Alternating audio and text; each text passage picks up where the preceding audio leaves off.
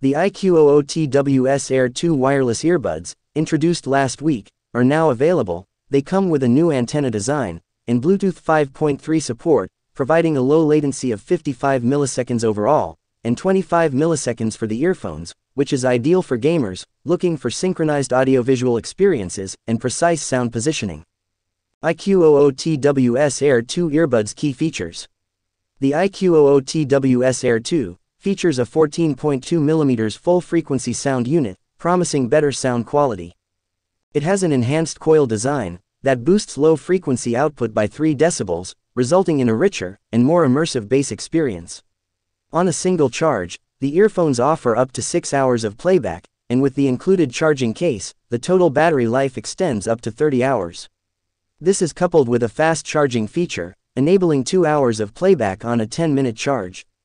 The iQOO TWS Air 2 earbuds have a comfortable and stable semi-in-ear design, with each earphone weighing 3.6 grams. They are IP54 rated for dust and water resistance and suitable for different weather conditions. The design is ergonomic and comes in a silver gray color option, featuring a charging indicator light below the iQOO logo.